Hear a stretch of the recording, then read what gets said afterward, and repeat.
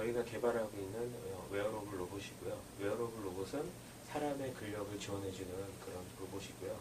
특히 저희가 이번에 새롭게 개발한 것은 어, 소방관의 근력을 지원해주기 위한 웨어러블 로봇이고 어, 로봇명은 HYPER R1이라고 명명해서 저희가 이름을 부르고 있습니다. 어, 특히 어, 이 로봇인 경우에는 어, 불이 났을 때 소방관들이 어, 고층 건물을 올라가게 되는데 그때 가져가야 될 여러 가지 필수 장비들이 있습니다.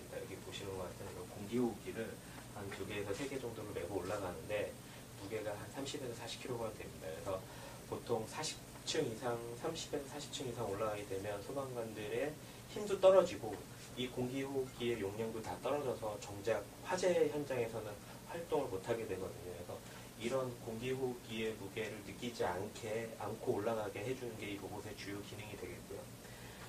어, 특히 이 로봇은 이제 이런 유압 실린더, 유압 시스템을 사용해서 어, 구동되는 로봇으로서 이 유압 실린더를 통해서 로봇의 관절에 힘을 지원을 하고 그 힘이 이 무게를 들게 되어 있습니다.